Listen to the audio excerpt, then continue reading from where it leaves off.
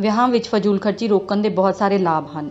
ਆਪਣਾ ਖਰਚ ਬਚਦਾ ਹੈ, ਰਿਸ਼ਤੇਦਾਰਾਂ ਨੂੰ ਸੰਤੋਸ਼ ਮਿਲਦਾ ਹੈ, ਸਮਝਦਾਰ ਸਮਾਜ ਵਿੱਚ ਤਾਰੀਫ ਹੁੰਦੀ ਹੈ ਅਤੇ ਨਾਲ ਹੀ ਸਮੇਂ ਨੂੰ ਬਦਲਣ ਵਾਲੇ ਸ਼ੂਰਵੀਰਾਂ ਵਿੱਚ ਆਪਣੀ ਗਿਣਤੀ ਹੋਣ ਲੱਗਦੀ ਹੈ। ਪੰਡਿਤ ਸ਼੍ਰੀ ਰਾਮ ਸ਼ਰਮਾ ਆਚਾਰਿਆ, ਪੁਸਤਕ ਦਾ ਨਾਂ, ਵਿਆਹਾਂ ਵਿੱਚ ਫਜ਼ੂਲ ਖਰਚੀ ਦੇ ਕੂ ਚੱਕਰ ਨੂੰ ਤੋੜੀਏ।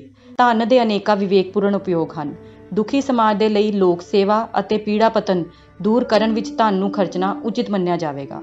ਪਰੰਤੂ ਵਿਆਹ ਵਰਗੇ ਪਵਿੱਤਰ ਵੈਦਿਕ ਸੰਸਕਾਰ ਵਿੱਚ ਧਨ ਦਾ ਅਨਾਪ ਸ਼ਨਾਪ ਖਰਚ ਨਿੰਦਾਯੋਗ ਹੈ।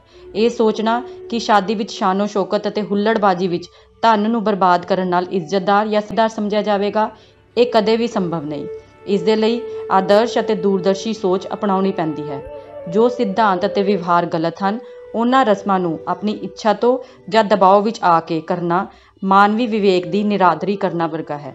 ਵਿਆਹਾਂ ਦਾ ਪਾਗਲਪਨ, ਹੀ ਦਹੇਜ ਕੰਨਿਆ ਭੂਣ ਹੱਤਿਆ ਘਰੇਲੂ ਹਿੰਸਾ ਵਰਗੀ ਬੁਰਾਈਆਂ ਨੂੰ ਜਨਮ ਦਿੰਦਾ ਹੈ। ਵਿਆਹ ਯੱਗ ਜਿਹਾ ਪਵਿੱਤਰ ਕਾਰਜ ਹੈ। ਇਸ ਵਿੱਚ ਮਨਮਾਨਾ ਆਚਰਣ ਨਹੀਂ ਕਰਨਾ ਚਾਹੀਦਾ। ਵਿਆਹ ਵਿੱਚ ਧਨ ਦਾ ਦੁਰਉਪਯੋਗ, ਹੰਕਾਰ ਅਤੇ ਅਡੰਬਰ ਦਾ ਫੂਹੜ ਪ੍ਰਦਰਸ਼ਨ ਹੈ। ਅਜੇ ਹੀ ਕਰੋਨਾ ਕਾਲ ਵਿੱਚ ਅਨੇਕਾਂ ਵਿਆਹ ਬਿਨਾਂ ਅਡੰਬਰ ਅਤੇ ਵੈਦਿਕ ਰੀਤੀ ਤੋਂ ਹੋਏ ਹਨ।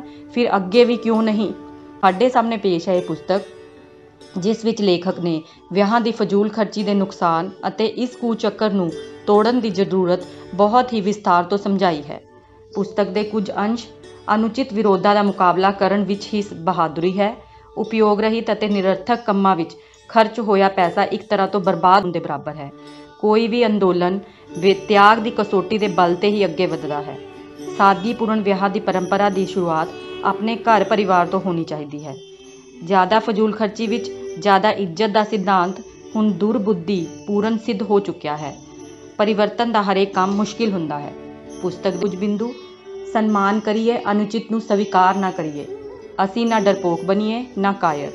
ਵਿਵੇਕਸ਼ੀਲਤਾ ਨੂੰ ਚੁਣੌਤੀ। ਸਮੱਸਿਆ ਦੀ ਗੰਭੀਰਤਾ ਅਤੇ ਉਲਝੀ ਹੋਈ।